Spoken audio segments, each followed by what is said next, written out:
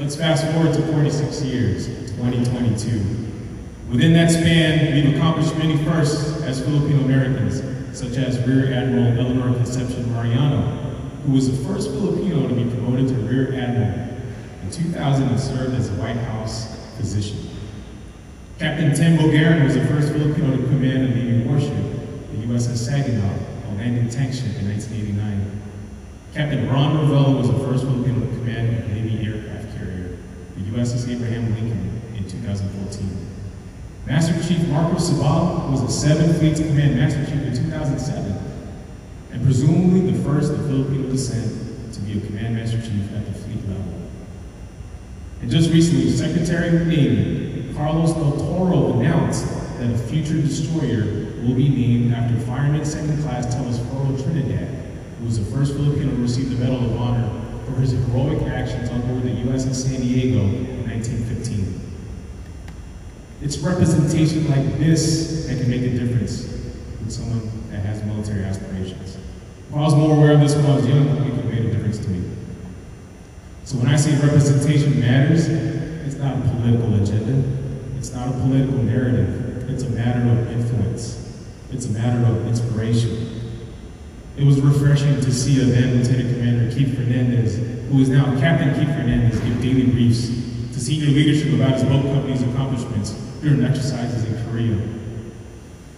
It's inspiring to witness a fellow Morris High School alumnus, also a Naval Academy grad and midshipman football standout, Captain Jeremy Alota, motivate his sailors as a CEO of the USS John P. Murtha.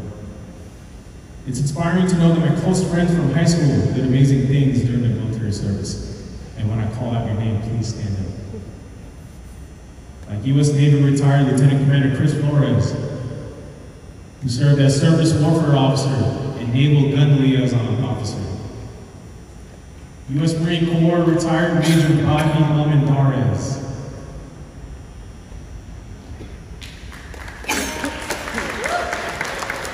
Bobby served as an intel officer and was trained as a scout sniper leading recon teams into combat.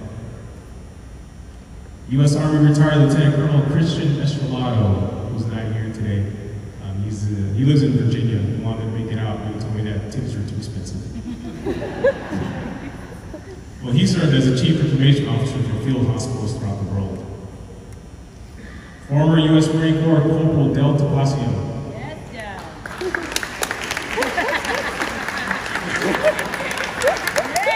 He served as a motor transport specialist. We were one week apart at boot camp at MCRD. Former senior airman Fran Delacruz.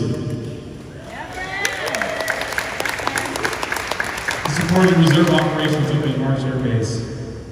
And last but not least, my beloved friend, the late U.S. Air Force Staff Sergeant Rudy Hewitt.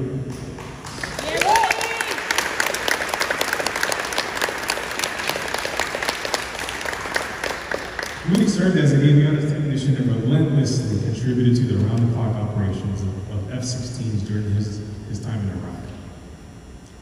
These are the stories that we need to know about to instill more pride within the Filipino American community. That feeling of pride that someone who looks like me and comes from the same national origin accomplished all these feats.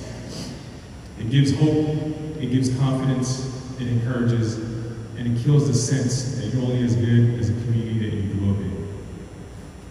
I struggled with self-esteem, self-confidence, and having imposter syndrome. And it wasn't until well into my adulthood I realized it doesn't matter where you come from, but how you get there. But it does help to know about our history.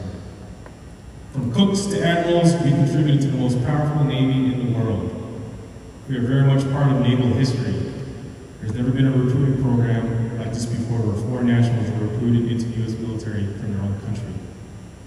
The program ended in 1992 when Subic Bay Naval Base and Clark Air Force Base shut down. From 1946 to 1992, there was an estimated 35,000 Filipinos that were recruited. To put that into perspective, that's as big as the current Coast Guard force right now. So to the Filipino men and women, our mommies and manams, our titos and titas, our uncles and aunties that came before us and forged the path to what we've accomplished so far in the U.S. military. Thank you.